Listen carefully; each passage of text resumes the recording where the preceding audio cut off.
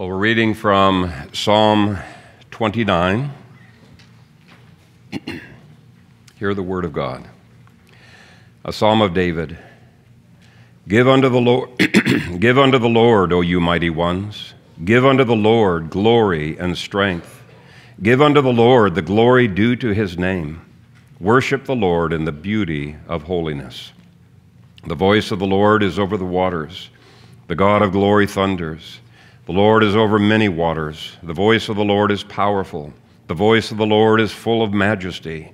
The voice of the Lord breaks the cedars. Yes, the Lord splinters the cedars of Lebanon. He makes them also skip like a calf, Lebanon and Sirion like a young wild ox. The voice of the Lord divides the flames of fire.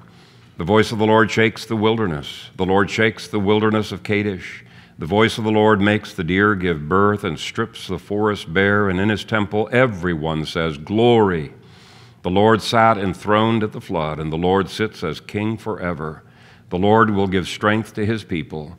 The Lord will bless his people with peace. Father, we thank you for this scripture, and I pray that you would quicken it to our hearts as uh, we listen to it. And we pray it in Jesus' name. Amen. You may be seated. a few years ago, I entered into a public debate with some Christians on the subject of evolution, and uh, two of them had been vigorously insisting that it's not fair. You cannot inject God and the Bible into science because science, by its very definition, excludes God. It's dealing with things that you can measure, which you can see in the laboratory, which you can uh, analyze with your senses. And he said that the Bible deals with spiritual and visible reality, and science deals with the laws of physics. And yet he claimed to be a Christian. Another person on that same uh, Christian forum said, and I'm quoting him verbatim Science tries to look at the natural world as completely natural as a perfectly integrated system of laws in which the spiritual concepts of separation, sin, and death simply have no meaning as such. And I responded by quoting from Cornelius Van Til, who said, Since God created all things by, for, and through Christ, Colossians 1.16, and since he sustains all things, Colossians 1.17, it would be impossible to interpret any fact without a basic falsification unless it be regarded in its relation to God the Creator and to Christ the Redeemer. And then I said, when God is left out of science, it becomes a godless science. Well, this is a passage that I think beautifully, beautifully illustrates what Van Til was saying. For David, it was absolutely impossible to look at any aspect of creation without glorying in God's wisdom, His power, His judgments, His mercies. All of creation was shouting God's existence. And when you begin to live every moment of your life before the face of God, it really does revolutionize your life. If you want a a um, great essay on this subject. It's a very short essay by R.C. Sproul uh, Sr. Uh, you can ask me for the source of this, but it was written in 2017, and it was titled, What Does Coram Deo Mean? And I won't give away the whole essay, but here's how he summarized it. He said, The big idea of the Christian life is coram deo. Coram Deo captures the essence of the Christian life. Now, before I keep reading, uh, let me emphasize this is not an overstatement at all. It is critical that Christians learn to live before the face of God, which is what Coram Deo means. And that's the main theme of this mini series that we've been going through on experiencing God in every aspect of our lives, living before His presence. Anyway, back to Sproul.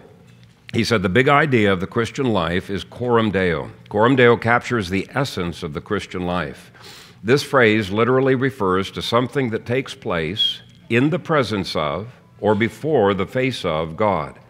To live coram deo is to live one's entire life in the presence of God, under the authority of God, and to the glory of God. And I say, Amen. Well, in that essay, he went on to emphasize that any version of Christianity that compartmentalizes life, and this part is sacred, this part is uh, secular, uh, is, uh, has a fundamental inconsistency that will eventually destroy even the sacred part of life. Uh, God will become less and less central to your life to the point where God's really not that meaningful when you come uh, before Him in worship. Everything we do must be seen as under God, as consistent uh, with His sovereignty over all. And I'll just quote one more paragraph from his essay.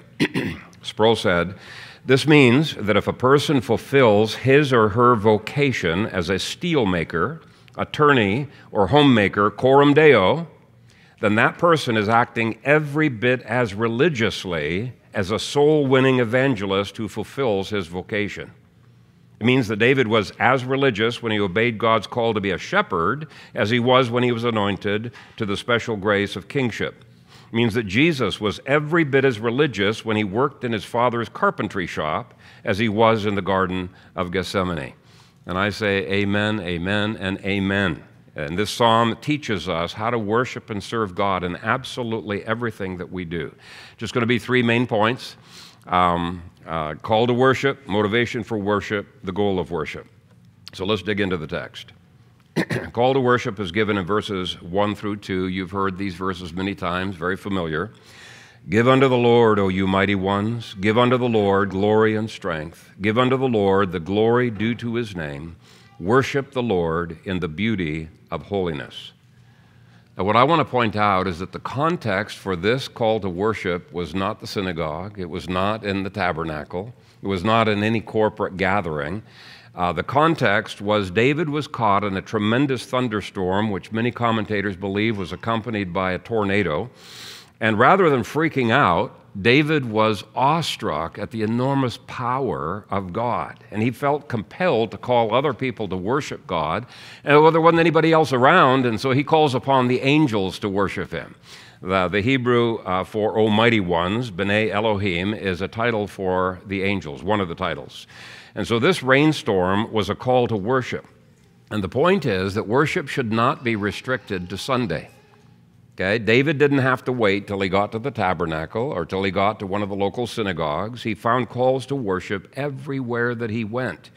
When I'm driving down the road, I'm conversing with the Lord about all of the things that are going on the crazy drivers, the beautiful scenery, you know, the things that the Lord is uh, opening up to me, or just praying or interceding on behalf of others. Worship is basically glorifying God in all that we do and relating all that we do to God. Now, unfortunately, the only call to worship that many Christians ever hear is the one that comes here from the pulpit. And uh, there are times where we don't even respond to that as much as we could. And I believe that the reason is the same. When I joined Faith Presbyterian Church some 47 years ago up in Canada, uh, there were two sweet ladies. I loved uh, these ladies, but they kept complaining almost every Sunday that they just couldn't worship properly because we were meeting in a holiday inn conference room. It didn't feel like a church at all, uh, just not conducive to worship. And even though I didn't say this out loud to them, uh, I thought, oh, wow, Pity the first Christians who didn't have any churches. They met in the open fields. Pity the early church, you know, that met in the catacombs and worshiped their hearts out or met in caves. Most Christians in Africa and Asia and other parts of the world don't have what we consider to be normal church buildings. And yet they are able to worship. They have what many Westerners consider distractions. I remember when I was growing up in Ethiopia, we would not have any seats. So we'd sit on the ground with our knees crunched up to our chests, and there were a lot of distractions. Uh, you know, uh, a chicken would wander in and somebody would swat it and it would go off with a squawk and i would look across the, uh, the aisle over here and i'd see a bug walking up somebody's leg and i was wondering what was going to happen and uh, you know a little kid would pull on a puppy's tail and it would yelp and there were all kinds of distractions that were going on in these um, uh, worship services. And, uh, and uh, it would be easy to get distracted if your heart was not in tune with god in everything that happened. So what is it that causes you to worship or that hinders your worship? I think if you can discover that, you'll find the difference between living coram deo and being oblivious to God most of the day. David had learned how to tune into God wherever he was. Seeing this thunderstorm caused his heart to well up in worship. And David was prompted to worship by almost everything that he saw. You read through Psalm 104 sometime, and you will see that this was true. Seeing a bird's nest made him want to worship because he saw the wisdom and the goodness of God. Seeing cows giving birth, and the ocean beating against the shore, and the wild goats up in the mountains, and the conies in the caves, and the sun and the moon, and the lions hunting prey. I mean, all of these things were calls to worship for him, not just on Sunday, but wherever he was. Now, in verses 1 through 2, David realizes we have a tendency to ignore God's calls to adore Him and to worship Him and to glory in His wisdom.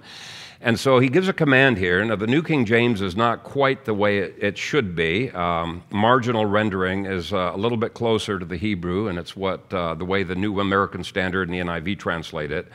It says, Ascribe to the Lord glory and strength. We can't give God anything that He doesn't already own. We can't give him glory and strength because he already has it. But we can certainly ascribe to God the glory and the honor that he deserves. We can recognize it. We can acknowledge that glory in the thunderstorm that he's about to describe is the glory of God himself. And over and over again, the Israelites failed to ascribe glory to God. Um, they ascribed power sometimes to Baal, like the Canaanites did, and David was saying, Baal's not the Lord of the storm, God is. Now, we would never say that Baal is the Lord of the storm, or would we? We might have a different name for it. Um, I wouldn't be too sure. What were those Christian scientists doing when they were excluding God from nature and from science? There was something that took the place of God in their scientific worldview, and it became the highest reality in their lives Monday through Friday. If God is not upholding scientific law, then what is? Did you realize that Jacob kept idols for many years? When many Old Testament saints had idols, they did not think of themselves as departing to the one true God at all. They sort of saw those, those uh, idols and icons as having some kind of inherent intrinsic power, sort of like a, a, a lucky rabbit's foot, right? Or some of the icons that uh, you'll find in Roman Catholic churches, some Protestants have them as well. I have known Christians who actually believe they're not going to catch fish if they don't wear their lucky fishing cap, or who get all excited when they find a four leaf clover. What is going on there? It's failing to ascribe to the Lord the glory due unto his name. Now, there's other people, they're not superstitious at all. At least they think they're not. Uh, they're overly mechanistic, and they don't see God's hand in AIDS, in typhoons, in storms, or in gentle rains. They don't see God's hand almost anywhere. Now, I didn't ask the Christian brothers in that science forum what they thought about AIDS and the typhoons, but I suspect if I had asked that, they would say, oh no, the God's hand was not in those things. They would probably speak of those things as being fluke or lucking out, you know, if your car escaped having a branch fall on it. Um, they many times act like deists and see God as having set impersonal laws in motion and only once in a while, through what they call a miracle, interfering in those laws. There is no personalism in nature for them. What a sad thing to be a scientist and to miss out on the glory of God. And it never ceases to amaze me at how close to the truth and yet how far from the truth Carl Sagan was. You guys, some of you probably don't even remember who Carl Sagan was. That's before your time. But uh, he, he, had a show. Uh, he was a, a supposed scientist, uh, talked about evolution. But I was always amazed at how he would speak of evolution almost as if it was a person, the wisdom of evolution, you know, the planning of evolution. But are we much different when we view the flight of a cardinal to our bird feeder? We find a branch that just narrowly missed our roof, or maybe hit our roof. Do we just think, oh man, that was bad luck? Or do we ascribe this to the Lord and seek to learn from Him? Many of the things that David praises God for in nature do cause us to have awe and amazement and fascination as well, but do they draw our hearts out to God? That's the central theme here. Do they draw our hearts out to God? Do they cause us to worship? Or are we merely fascinated with the intricacies of nature? If we can develop an attitude of worship in our day by day lives that makes uh, that can make the hymn that we're going to be singing here shortly, How Great Thou Art, a reality for us, a personal testimony, then having that continual attitude of worship, we're going to be a long way to developing a heart that's going to be intently focused on worshiping God on the Sabbath. We're not going to complain about the externals so much. We're going to be drawn to worship because we sense God's presence with us.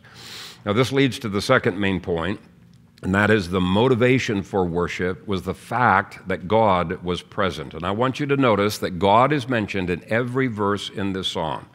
David does not want us to miss out on the fact that God thunders through the storm. God tears apart the oak trees. Okay, God makes the ground rumble as that tornado comes roaring through like a freight train, and God leaves a path of destruction in the forest. I wish you could read the poem in the Hebrew for yourself because David makes it almost sound like a thunderstorm when you're reading that Hebrew. My professor at Westminster Seminary was an expert in Hebrew, and he would teach us many different facets using different passages, but he taught us onomatopoeia in the in the Hebrew. Onomatopoeia is where you have a word that sort of sounds like what it's describing, like fizz, buzz, gurgle, you know, things like that. Those are onomatopoeic uh, words. And the onomatopoeia in this psalm is absolutely incredible. I can't replicate it perfectly, but let me just give you a few examples. The repeated phrase, the voice of the Lord, sort of sounds like thunder rumbling off in the distance. Kol Yahweh, Kol Yahweh, Kol Yahweh. Okay? But when it's put in conjunction with other words, it gives the feel of the storm coming in, moving overhead, and then dissipating into the east. In verse 3, the storm is brewing out of the Mediterranean, and in the language you can hear small, soft rumble of thunder, little, little bit of reverb in the Hebrew. In verse 4, as the storm moves inland, there's a much sharper sound of thunder through onomatopoeia. Uh, first phrase shows the crash, kol Yahweh bakwach. It's kind of a crashing sound. The next phrase, the reverb, kol Yahweh bachador, just a little bit softer. But in verse 5, you've got the most awesome language, and the words that are chosen for the cedars breaking apart, for example. L- listen to this onomatopoeia.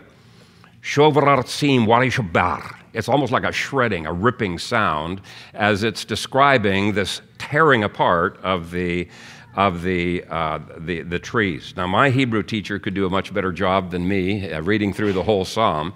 And I still remember him in the front of the class reading this. It sent shivers up my spine. It just is incredible. You'll have to listen to it in Hebrew sometime. It's a, it's a beautiful, beautiful psalm in the Hebrew.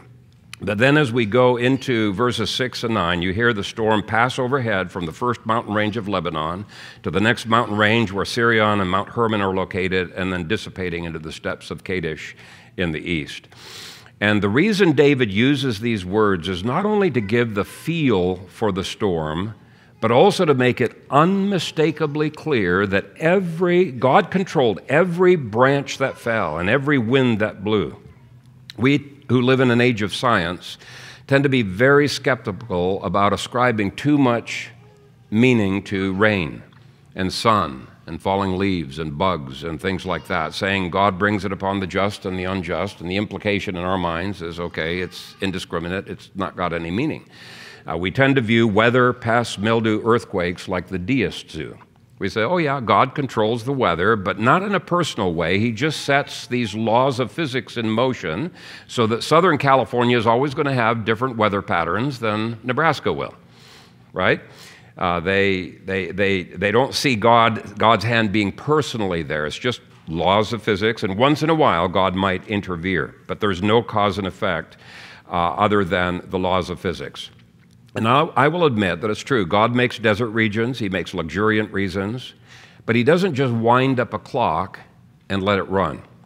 History shows numerous examples of covenantal judgments and covenantal blessings as nations as a whole abandon God's law or begin to embrace God's law. And in both cases, the Bible is quite clear that God is present in the storm and God is present in the drought. We do not just deal with impersonal laws set in motion. In nature, we are witnessing a personal God who is orchestrating every detail with a purpose, with a goal in mind, guaranteeing that all things work together for your personal good. Let's read verses 3 through 9 with this in mind. the voice of the Lord is over the waters. The God of glory thunders. The Lord is over many waters. The voice of the Lord is powerful. The voice of the Lord is full of majesty. The voice of the Lord breaks the cedars. Yes, the Lord splinters the cedars of Lebanon. He makes them also skip like a calf. Lebanon and Sirion like a young wild ox. The voice of the Lord divides the flames of fire. The voice of the Lord shakes the wilderness. The Lord shakes the wilderness of Kadesh. The voice of the Lord makes the deer give birth and strips the forest bare, and in his temple everyone says, Glory. So at least the angels are not just awestruck by nature, they're awestruck by God, even if the scientists are not. And it's not just during special times like the Exodus or the conquest of Canaan or Jonah in the storm or other judgments that God controls the weather for personal purposes. Uh, Gary North uh, coined, at least I think he coined the phrase cosmic personalism. Uh, I, I love that phrase. Cosmic personalism is a theology where everything in this universe is working together for the good of his church, for the good of his elect. Isn't that what Romans 8 says? It's cosmic personalism. All things work together for the good of those who love him.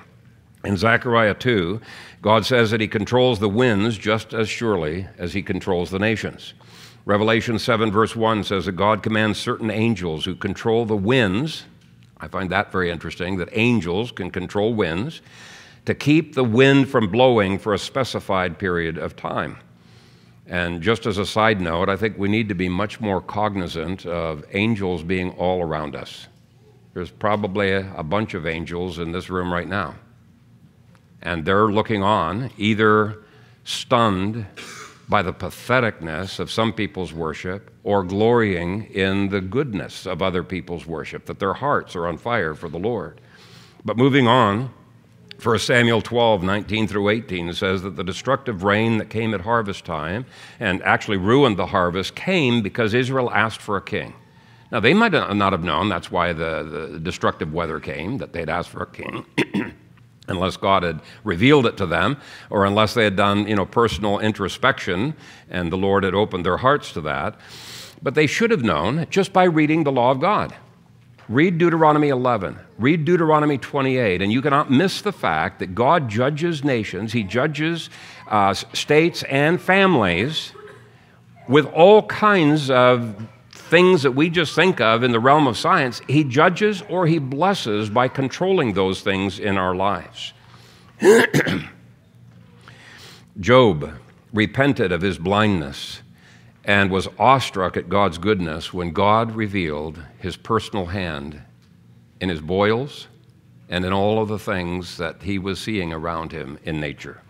Can you see why there is an immediate response of praise from the angels in verse 9? It says, In his temple, everyone says glory. Angels live coram deo. They're always before the face of God. They're always cognizant of God's presence. And in that heavenly temple, all of these angels are saying glory when they see this awesome thunderstorm. We have a hard time doing that. it takes God's personal presence in the storm to elicit such a response. And so, what I want to say to you is there is no such thing as chance in God's world. And we do dishonor to God when we think of storms as being arbitrary. If a thunderstorm elicits a glory from the angels, it ought to elicit a glory hallelujah from God's people too. Or if we sense that it's a judgment, then it ought to elicit a humbling ourselves from Almighty God. Uh, this is one of the things I just love about the Puritans. You read very much of the Pilgrims and the Puritans, and you will see that they believed in what Gary North co- talked about as cosmic personalism. They were in tune with God's hand in nature.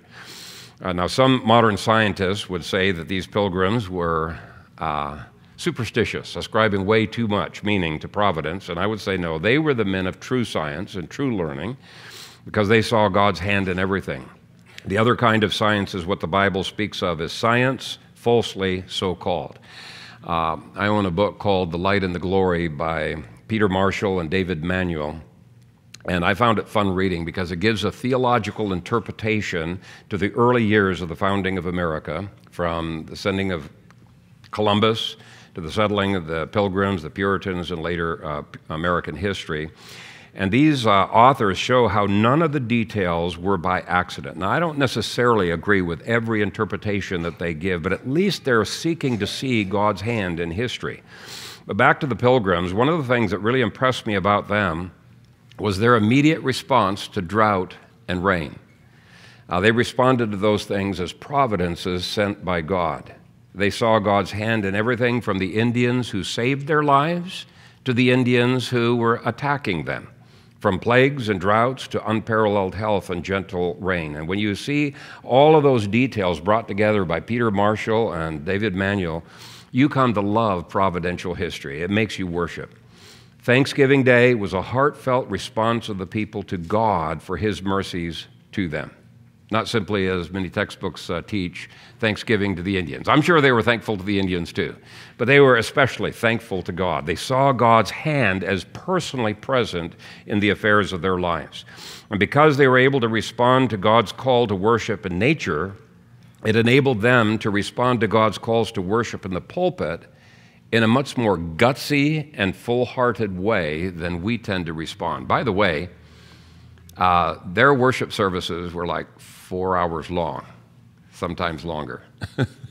and yet, these people, you read the histories of what went on, these people were just enraptured with love for God, devotion to God, adoration for what God did, because they saw God present with them. Now, this psalm ends with a twofold goal for worship give God the glory and receive blessing.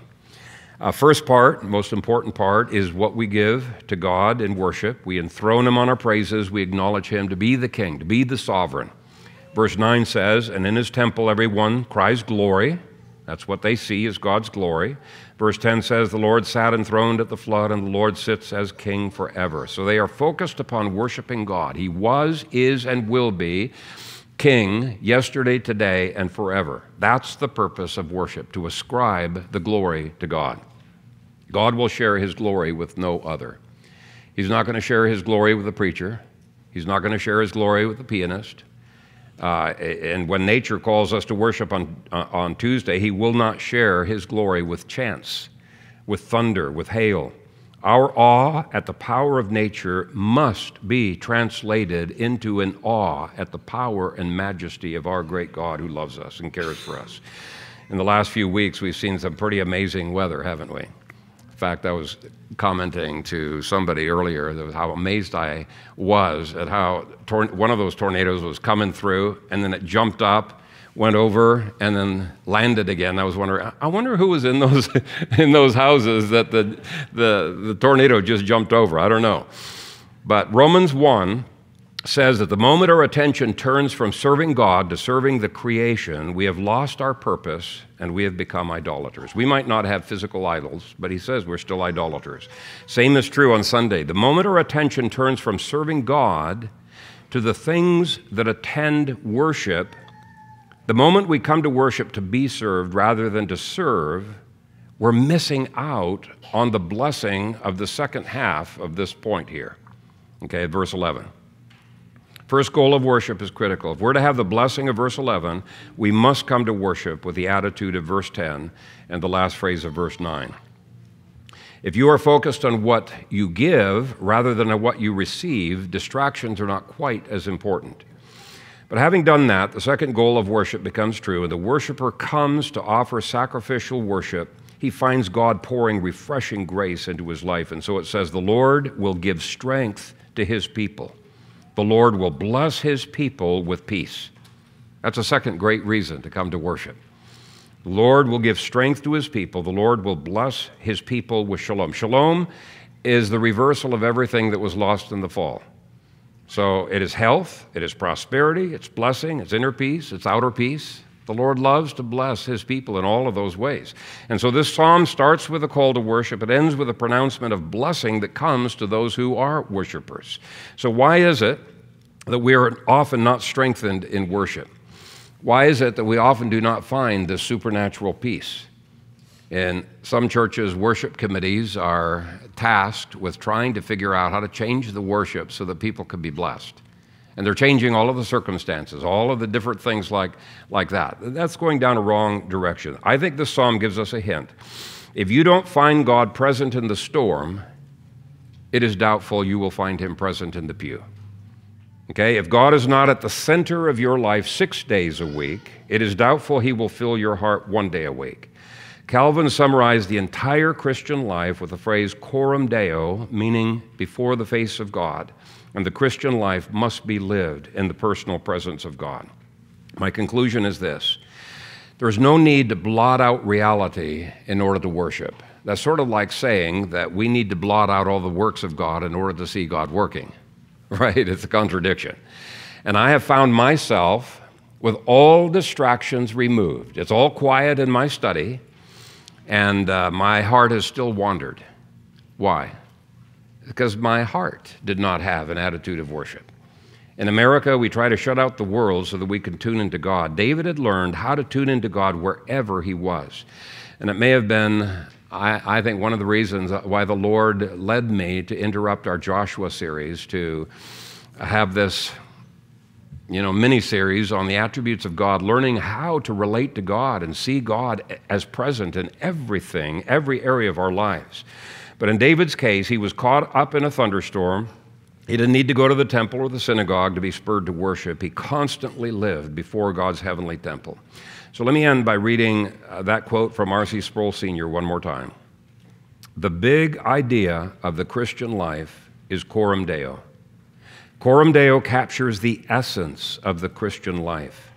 This phrase literally refers to something that takes place in the presence of or before the face of God. To live coram deo is to live one's entire life in the presence of God, under the authority of God, and to the glory of God. May that become more and more a reality for each one of us. Amen. Father, I thank you from the beginning of this service to the end and the way in which you have been touching our hearts. Thank you for ministering through clay vessels like Gary and through the musicians. Thank you, Father, for meeting with us. We love you, and it is our glory to worship you, and we want to learn to worship you better.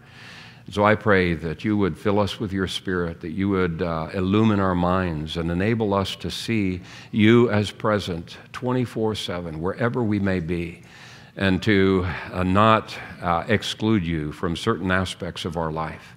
Uh, we want to know you and to know the power of your resurrection in all that we do. And so we pray, Father, that you would indeed be with us and that we would seek your glory in everything. In Jesus' name. Amen.